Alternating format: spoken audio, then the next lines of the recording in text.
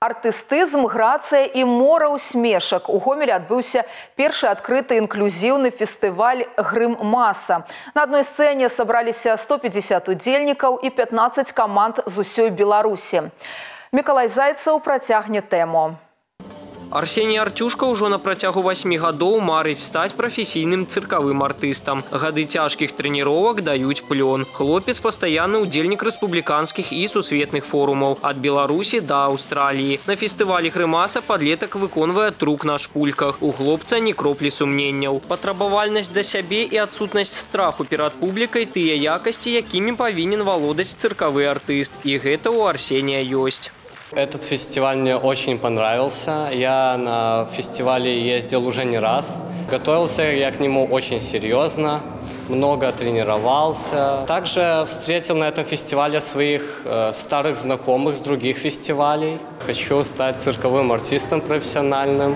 У нас э, есть разные цирковые училища. Мазырскі цэнтр цыркавога мастацтва арэна, дзе і займаецца Арсеній, у гэты месяцы адсвяткуе 20гадовы юбілей. На сённяшні дзень тут аточваюць сваё майстэрства 70 таленавітых дзяцей і падлеткаў. Кіраўнік цэнтра Барыс Кузняцоў выхаваў больш за 100 цыркавых артыстаў. Да кожнага дзіцяці ставіцца як да свайго, адсюль і высокія вынікі. Как позвонили наши организаторы, я сообщил моим.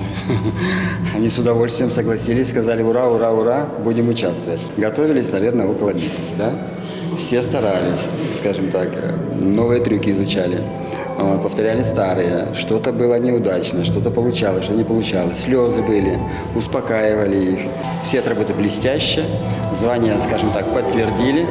Фестываль Грымаса стаў сапраўднай феерыяй. У конкурсную праграму ўвайшлі каля 50 нумароў на любы густ. Приехало более 150 участников со всей Беларуси. 15 команд, которые участвовали в конкурсном дне. И лучшие сегодня вышли на сцену для того, чтобы сделать красивое гала-шоу. Разноформатные номера, номера профессиональные. Очень радует то, что этот фестиваль, первый инклюзивный, он прошел, ну это моя оценка, на высоком уровне. Пераможцаў вызначылі ў васьмі намінацыях. Арсеній Артюшка стаў лепшым у катэгорыі арыгінальны трук. Калектыў гомельскага тэатра клоунады і пантамімы без слоў атрымаў узнагароду за лепшае рэжысіраванне. Наступны інклюзіўны фестываль Грымаса адбудзецца праз два гады і без сумневаў зноў падорыць удзельнікам і гледачам цэлую гаму незабыўных эмоцый. Мікалай Зайцаў, Валерый Гапанько, тэлерадыёкампанія Гомель.